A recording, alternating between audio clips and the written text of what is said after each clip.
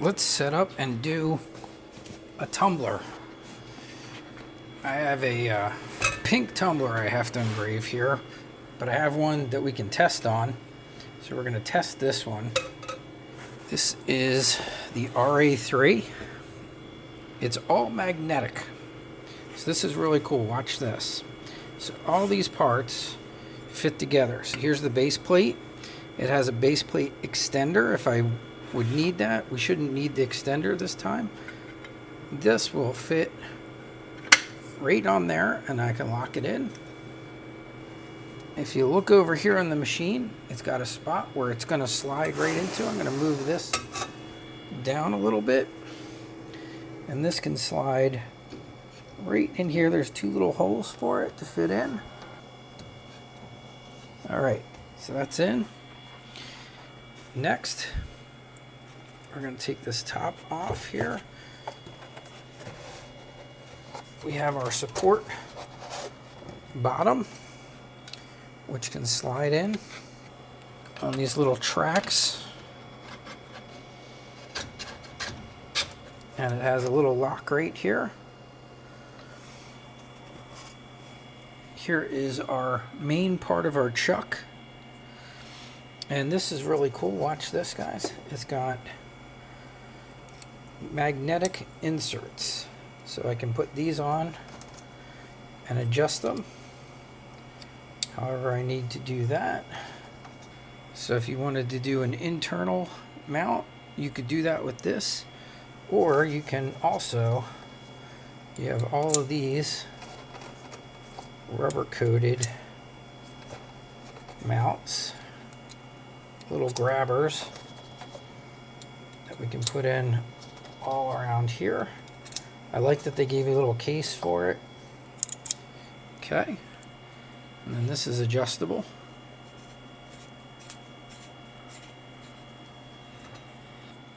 Put this on beforehand if we want, and that's not going to be big enough. We're going to have to come up one more. But you see how nice that is. If you've ever had one of the other rotaries, you'd be unscrewing stuff. But see, I don't have to unscrew anything here. Bring this down a little.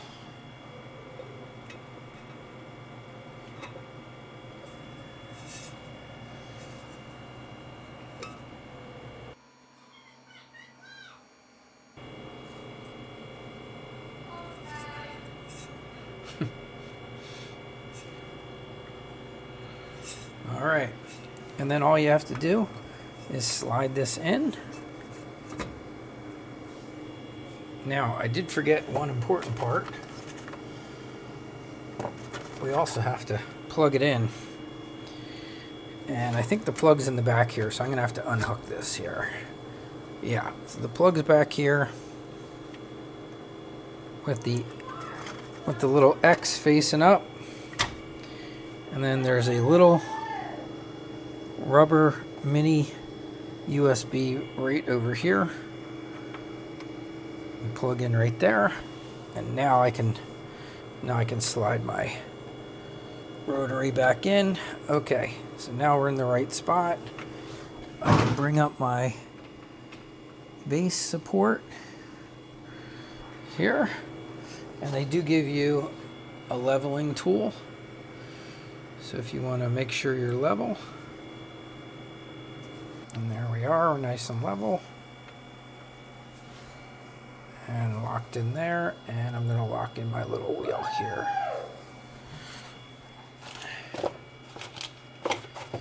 And then the other things are for a roller. So if you want to use the roller, there's another controller in here. Uh, there's some pins here for doing smaller things like rings. And this is an extension. So you have a cup with a handle and you need it up higher to keep the handle from hitting. That's when you would use the extension. You can see this box fits nice together and has a little magnetic clip. All right, so that all looks good. All right, all I have to do now is close the lid and we're gonna head over to the computer.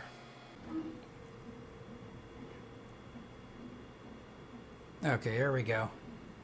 Yeah, so it was hitting the top of the cup. So make sure you're not hitting the top of your chuck. Now you can see it's reading the entire cup. It's using the LiDAR to read it, and it should give us a three-dimensional layout of that.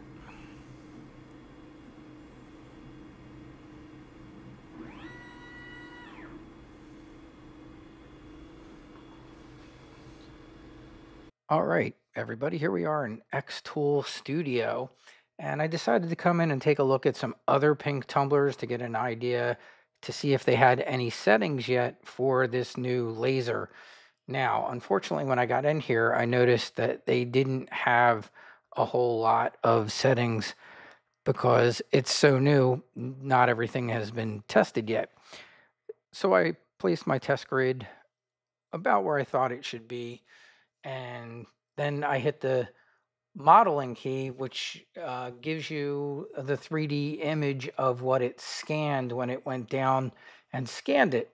And you can see, you can almost even see where the, your, uh, if you look really close, you can see where the silver bands on the top and bottom of the Yeti would be.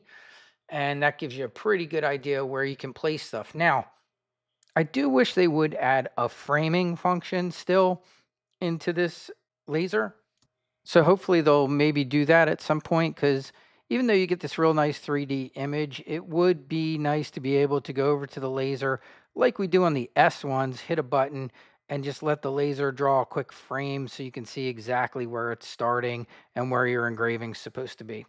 Uh, so I am hoping that they do add that because I think it's a nice feature, especially when you're doing things like like tumblers and things.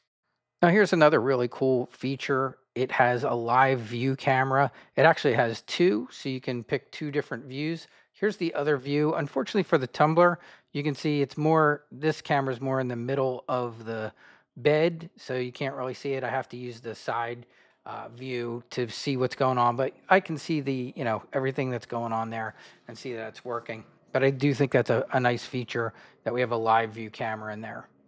So after doing the first test, which I did a power from 40 to 70 range and a speed from 75 to 200. I wasn't happy with any of those results. I felt it was over burning the cup. And I also did it at the lines per centimeter of, I think it was 160, and I didn't like it. It wasn't enough. I generally like high lines per centimeter. I think it gives you a much more even removal of the powder coat. Even when I do this on S1s, I use a setting that uses 300 lines per centimeter. It takes me a while, but I get absolutely beautiful cups. So I ran a second set and I came out with the results I was looking for. The second set came out really well. And the second time I did a speed from 100 to 400 and I did a power setting of 30 all the way up to 60. And the very best results that I got were at 300 lines per centimeter, at 400 speed, anywhere between 55 and 60. Both looked great to me on the power. So that's what I'm going to use for this pink tumbler. Now the pink tumbler I have to do is actually a little bit darker pink, but hopefully it will be just fine. But these settings look exactly what I like to see my tumblers look like. And I could just tell from having done so many before that the lower speed settings, they just weren't enough and we weren't removing enough of this powder coat. And I'll give you a, a picture of what those settings look like. So here's a couple close-up shots of the cup. I thought the whole top row of the 400 speed looked pretty good, but the very two best I thought were between 55 or 60 power. Wow, is my design getting dangerously close to the Yeti sign? I think we're going to be okay, but man, is it going to be close. I do think Xtool needs to do a framing button would be big time helpful on doing tumblers on the P3.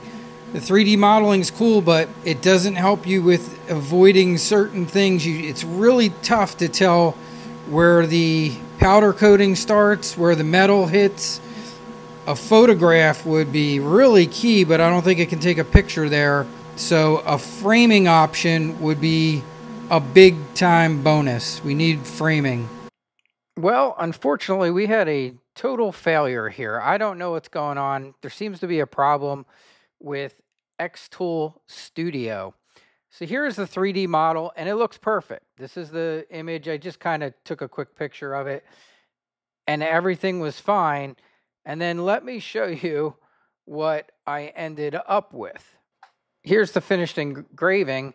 And if you look at the middle and at the bottom, it dropped all the text to the wrong spots. It just all went down. Now, a person told me they thought, oh, your, your uh, rotator must have shifted. I saw no shifting. There was nothing wrong with anything. But just to be sure, I checked again today, did another engraving, and it didn't even get like five minutes into it and was completely off and shifted to the wrong spot. I'm trying that logo again. Someone told me, oh, it looks like it slipped. You can see this is not slipped. It is perfectly mounted. I did some measuring marks since we had destroyed this Yeti anyway. I decided I would use it to see some measurements to get some ideas to where I can place things. I'm gonna shut this off. And you can see it has again completely messed up that logo for no reason. I did these marks to get an idea of like, okay, where can I start at? I did calibrate this morning. I calibrated my rotary there's a calibration in here so that it knows where it is. I did the calibration on it. Then I did the auto measure where it measures it with the LiDAR. It did all the measurements and still not getting a good result there. As you can see, that is, that is not good. It should not be doing that. I don't suspect it's anything wrong with my graphic. I've used this before it's a SVG. I've done in other retirements for the Office of Inspector General, and I don't get this situation going on here. I don't, I don't know why it's doing that. My suspicion is there's something wrong with the software for doing uh, tumblers on this rotary. Just curious if anyone else is uh, running into this, so let me know. All right, just to confirm everything, I did go to my S1. This is my 20 watt S1. I'm still using the same rotor. So this is the RA3, the new rotor. And you can see we have a perfect badge going on there so far. Nothing's dropped off. Nothing's not joining up properly. So it's definitely, I don't think it's slippage in any way, shape, or form because this looks like it's going to be perfect. I'll show you it when it's done. And in case any of you are wondering, the S1s are absolutely fantastic for tumblers. In fact, they're my favorite thing to do tumblers on, even though I just got the P3. So we'll see what happens in the future if the P3 ends up being my favorite. But I have to go out and buy another pink tumbler today because the one that I had for the retirement is ruined you know, that's part of engraving. These things happen. You get new machines. Sometimes there's some quirks with them. You know, this one's brand new, and there's going to be some things with the software and things that probably just have to be worked out and found out and corrected. But these things happen, you know, and that's one good thing about Xtool I can say is you can see I got Xtool machine, Xtool machine, Xtool machine, Xtool machine. They've always been really good at correcting things pretty fast, especially when it was like software issues. But from what I'm seeing here, this doesn't seem to be an issue at all with the RA3, which so far I love. Like it did such a nice job of easily hooking up this tumbler. It seems to be an issue with the software. It does say beta, so I will say that. It says it's it does say it's beta software. I just I thought I was okay because I think I showed you guys this. I did a I did one I did this one on on the P3 I'm not sure why this one worked fine. And then the next one, I did exactly the same way. You can see I'm just running into constant problems now trying to do a tumbler on the uh, on the P3. But I'm sure we'll get it fixed. But that's my update for now. This is crazy, guys. Look at this. it's getting all of the words backwards. What is going on with this thing? So now I'm thinking this is a problem with Studio, with Xtool Studio. So I'm using my S1. I'm using the RA3, but I'm using Xtool Studio software, and you can see it completely got all the words. Everything's in the right place, but it's backwards. I seriously don't know what's going on here. All right, so I'm going to do one more test. I'm going to go back to regular Xtool Creative Space and and do one more of these and just check it and make sure that's the problem. But this is really strange stuff going on here with this Xtool Studio. I'm just wondering, if it, am I the only one running into this, or is anybody else running into this? Because I have never had my S1 ever do something like this. And you can see it's at least got the design correct, but it literally has all of the all of the words are completely upside down and wrong. I have never seen this before. Very, very strange. All right, to rule out other problems, I went back to Xtool Creative Space and used that software. And you can see it got everything perfect. But it looks like the problem going on here has to do with Xtool Studio. I'm getting just completely messed up results. On this one, on the S1, it inverted all of the letters. They're upside down and backwards. On this one, it just got it wrong. This was on the uh, P3, and it started getting uh, crossing over text with designs. Then I go back to Xtool. Uh, creative space and perfect. No issues whatsoever. And then here's the original one I showed you where it looked like it was doing just fine and then it totally dropped all of the innermost design and text into the wrong spots. And this one was on the P3. I do not know what the problem is. I checked all the firmware I checked for all the updates. I restarted all my software and computers, and I'm going to give it a shot again. I'm still seem to be having issues, but I'm, I'm gonna I will try one more time uh, testing on the P3 and see if it's managed to straighten itself out at all. But after that failed, I came over to my S1, opened up Xtool Creative Studio, and started getting just bizarre things going on there too. It looked like it was going to be totally fine. We had this perfect badge and everything in its right space, except for then it inverted all the letters. I, I can't even tell you how that something like that happens. But that's where we're at. If you guys are having any issues like this, I'd love to hear it.